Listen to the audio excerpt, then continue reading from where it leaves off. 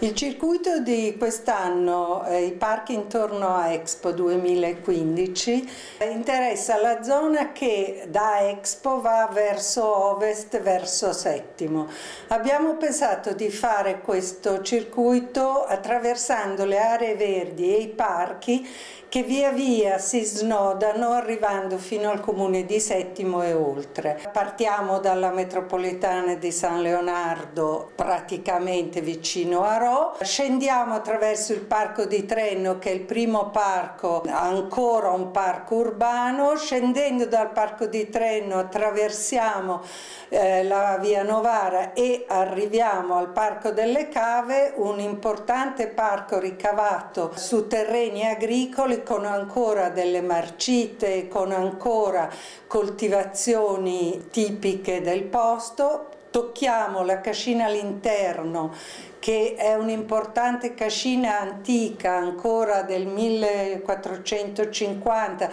dove addirittura si dice che abbia soggiornato il Petrarca, cascina importante non solo tipologicamente ma anche perché è un presidio agricolo eh, proprio al confine della periferia urbana. Inoltre la cascina all'interno è molto interessante perché il comune di Milano è partito proprio attraverso un progetto di restauro della cascina per iniziare un um, percorso di recupero e di studio di come valorizzare e rivitalizzare le cascine intorno a Milano. Dalla cascina all'interno, risalendo il Parco delle Cave, quindi toccando zone naturalistiche che sono state eh, piantate, coltivate, curate, ci trasferiamo verso Settimo, attraversiamo i terreni agricoli ed arriviamo al Bosco della Giretta, che è un bellissimo bosco, parco urbano ormai,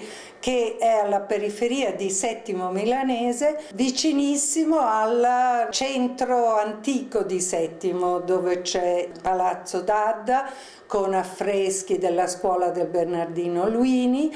poi risaliamo da Palazzo d'Adda che è fra l'altro sede del comune verso la cascina Macazzola, una cascina importante che è una cascina praticamente urbana anche questa che vende latte e prodotti agricoli alla città e ha un servizio continuo. Dalla Cascina Macazzola dove avremo un, organizzato un ristoro con risotti e formaggi ci trasferiamo verso la Cascina Pasqualini e quindi Figino e Bosco in città, che è l'ultimo parco che intendiamo attraversare, ritorniamo verso la stazione della metropolitana per ritornare a Milano e riconsegnare le biciclette.